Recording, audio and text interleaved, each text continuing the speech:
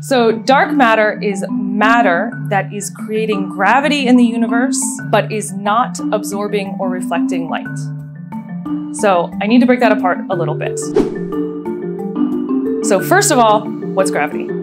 In essence, gravity is what holds the universe together. Gravity holds us down on the Earth, holds the Earth in orbit around the sun, and it holds the sun and other stars orbiting around in galaxies. The second part of that is what is matter probably somewhere back in elementary or middle school science class, we learned that everything on Earth is made up of atoms and molecules, and that atoms are made up of nuclei that are being orbited by electrons. As particle physicists, we know that that's not quite all there is to matter in the universe. For example, we know that the electron has some heavier cousins, the muon and the tau. We know that the electron, the muon, and the tau have these very light cousins called the neutrinos. And we know that nuclei are in fact made up of constituent particles called quarks. So for a particle physicist, when we talk about matter, that's what we mean. We mean these little constituent particles. Okay, so now let's go back and put that together about what dark matter is. So dark matter is matter, meaning it's some kind of new particle that is creating gravity in the universe. So it's helping hold everything together out in space, but it's not absorbing or reflecting light, meaning that we can't really observe it using our standard astronomical techniques. So the first question is, as a scientist, why is dark matter important to study at all? And the way to think about that is to realize that everything we have ever studied here on Earth, looking at chemistry or biology, studying animals or humans or rocks or the planets or other stars, all of that only makes up 20% of the universe. And the other 80% of the universe, we don't know what it is. And so that is the fundamental question of trying to understand what dark matter is.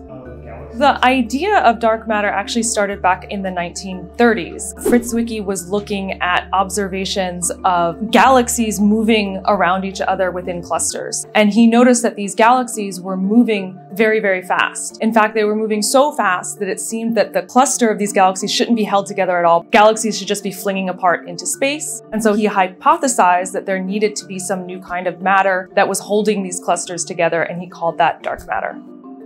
So how do we as scientists look for dark matter? Well, we can split ourselves into theorist and to experimentalist. Theorists start by looking at how the particles we do know and love interact with each other and the underlying math of how all that works. And then they look for problems in it. So this is what's called the standard model of particle physics. It is the most precisely formulated physical theory that we've ever written down.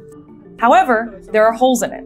So for example, it doesn't describe why neutrinos have mass.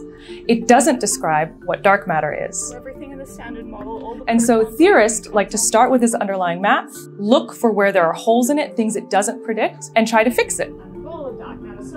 And then they come to us, the experimentalist, and they say, well, we have this great idea. This is how we could fix all these problems in the standard model. And look, it predicts this new kind of matter. Could you guys go out and look for it? So in essence, what we are all doing is we are building giant detectors and we are looking for something new and unexpected to happen within those detectors. A fundamental challenge of dark matter detectors is how do we tell the difference between these particles that are coming from space all the time and are due to standard astrophysics from some new particle signature that could tell us something about dark matter. So there's a lot of different ways that different experiments go about this. Some experiments put themselves deep underground where those regular particles can't reach them. So these are deep underground at mines or even underneath a mountain, say in Italy. Then there's what the particle collider experiments do. So this is like the Large Hadron Collider at CERN. It takes protons, which are particles we know and love, accelerates them up to almost the speed of light, smashes them into each other, taking the energy of these protons and trying to convert it into new mass. And they're looking for some new particle to come out of this collision that has properties that are consistent with what we know about dark matter.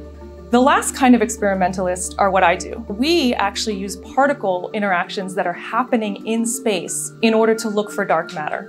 So in essence, we are using the universe like a giant particle collider. We are using those collisions that are happening out in space anyway and then observing them here on Earth.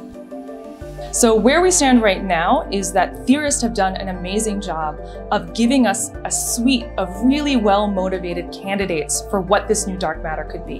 The experimentalists have risen to the challenge and have come up with a lot of experimental ideas for how we are going to search for that new form of matter within the next decade.